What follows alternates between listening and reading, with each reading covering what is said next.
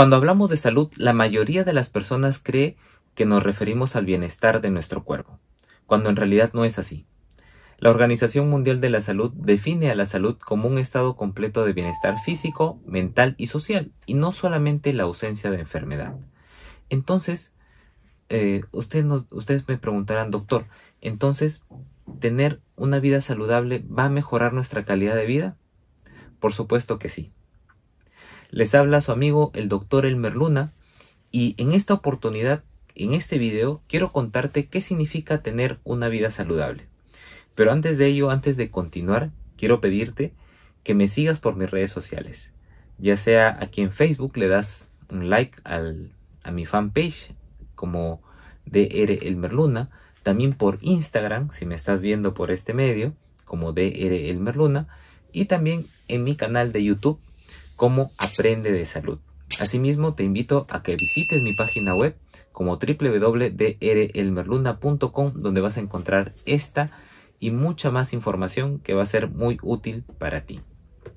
Entonces les comentaba eh, sobre qué significa tener una vida saludable. No solamente es el bienestar de nuestro cuerpo como la mayoría de las personas puede pensar, decir, ah, ya, tener vida saludable, hacer más ejercicio, eh, alimentos de mejor calidad, dormir bien. Entonces, todas esas cosas van al bienestar de nuestro cuerpo, pero nos olvidamos de los otros aspectos, de nuestra mente, de nuestra vida social.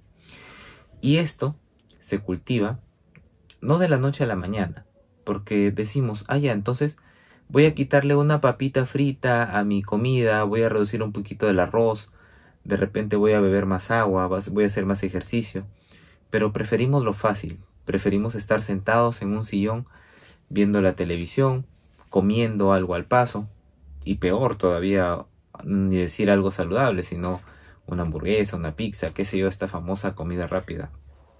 Que sí, no puedo negar que tenga un sabor agradable, pero no es lo mejor para nosotros. Entonces, preferimos eso a, a adquirir una serie de hábitos que nos van a ayudar. Entonces, para tener una vida saludable, tenemos que cultivar dos cosas muy importantes.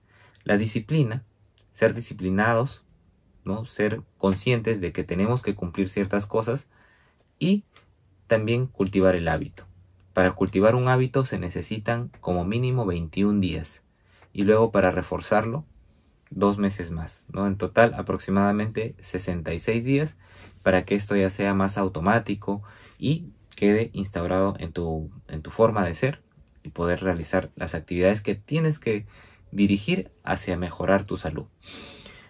Eh, doctor, usted nos dice pues que va, va, a hablarnos mucho sobre, sobre el tema de la salud, pero nos habla mucho de la enfermedad y todo eso. Déjame contarte la historia de Jane Tomlinson.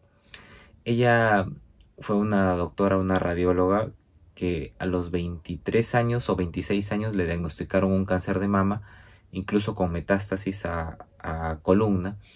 Sin, embargo, pues los médicos le decían, sabes que no te damos mucha esperanza de vida, pocos meses, a lo mucho un año. Pero ella, a pesar de ese diagnóstico, no, está, no, se, no se sintió derrotada. Y dijo, no, yo voy a seguir adelante.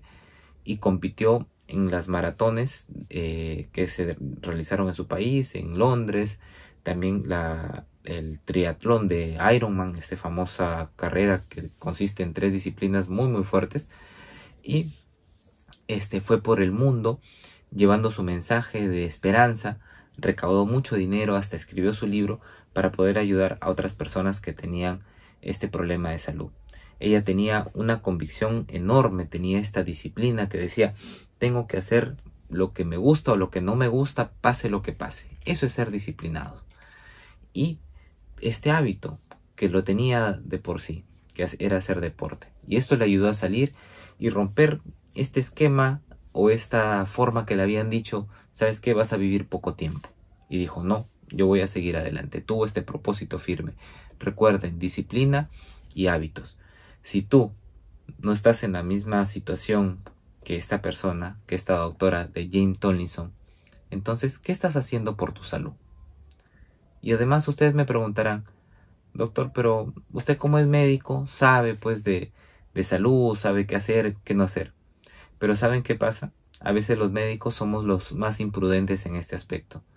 cometemos el doble error.